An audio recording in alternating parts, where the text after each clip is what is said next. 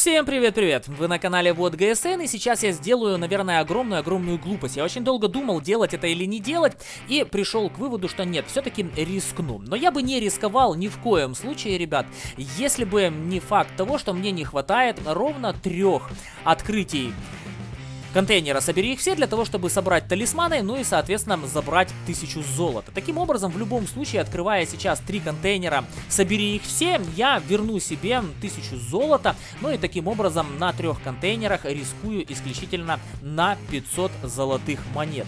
Сделаю ли я правильно? Сомневаюсь, потому что для тех ребят, которые смотрят мой канал уже давно, вы знаете, что за 8 лет игры в данную игру, э, и имея не 3 и даже не 7 аккаунтов, аккаунтов, я реально из платных контейнеров смог получить только одну машину, абсолютно негодную, которая мне не понравилась, и еще и не на не основном аккаунте.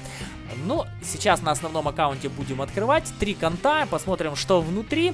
Но я, честно говоря, особой ставки не делаю. Хотя, кто его знает, может именно сегодня мне повезет. Ну что, погнали! Итак, из первого контейнера нам с вами выпадает, э, ну, нам с вами выпадает вот, вот так вот нам с вами выпадает. Извините, по-другому я это назвать не могу. Открываем следующий контейнер. Но в любом случае, каждый контейнер приближает меня к 1000 золота. Окей, хорошо, открываем третий контейнер. Вот так вот, ребята, ничего я не получил, я забрал свои тысячу золотом назад, потратил 500 голды, потратил 500 голды, в принципе, на то, что ну, особо-то и не ценится.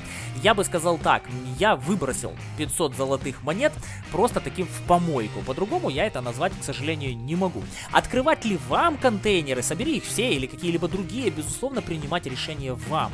Я же скажу честное свое мнение по поводу контейнеров. Контейнеры это зло. Ребят, не тратьте золото, уж тем более реальные деньги на приобретение контейнеров. По одной простой причине, потому что вы покупаете кота в мешке, который еще и неизвестно есть ли там. И даже если бы сейчас мне отсюда что-то выпало, не факт, что мне бы выпал какой-нибудь, допустим, КПЗ-70, который у меня есть, да, машина классная, но я бы получил компенсацию серебром, и на этом бы, ребят, я успокоился. Поэтому, ребятушки, я настоятельно рекомендую вам тратить свое золото и свои реальные деньги, если вы уже их вкладываете в игру, на покупку того, что вы реально можете пощупать руками.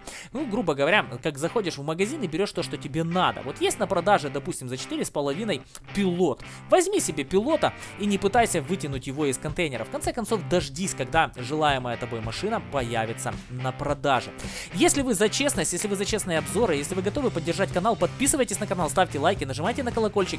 Вы можете сбрасывать донаты через ссылочку в описании и отправлять подарки через игровой магазин. Я вам буду безумно благодарен и сниму обзоры на все, что вы пришлете. Спасибо вам большое заранее.